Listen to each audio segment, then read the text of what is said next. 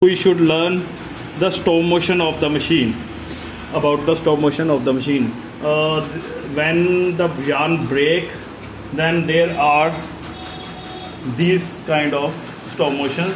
When yarn break then this wire go up and the red light will on.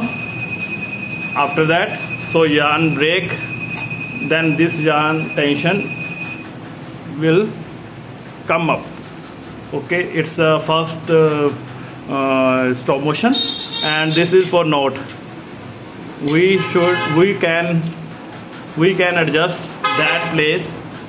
We can adjust that place according to our knot if there is a big knot then it can be very harmful for the knitting.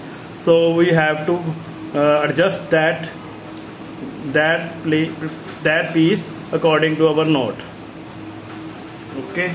And this one is the first stop motion. After that this is a this is second one. This stop motion. This this is for uh, needle break. When needle break then this stop motion work. If that is in this position then machine will not work. For bring the needle back down and change the needle. After that we should uh, we should uh, uh, bring that piece back to its this original position. This one is its original position. Okay? And one is behind this carriage under this carriage that way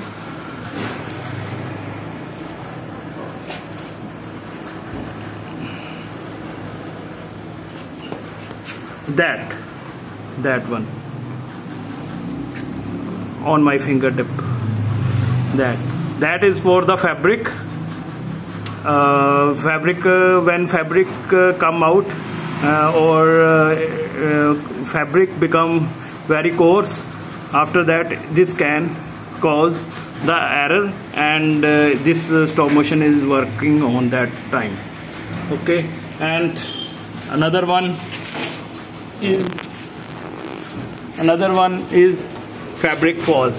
When the yarn break sometime fabric our fabric fall. Fabric uh, come up from the needle then this stop motion drop down and touch that wire.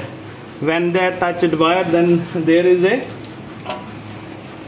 there an electronic electronic part and it show the machine fabric fall so fabric fall uh, we have to put the uh, put the fabric down back to cast on the needle and after that put that fabric fall this way.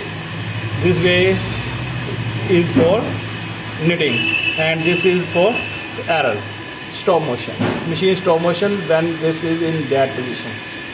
So these were these were the stop motion which we used on this machine Thank you.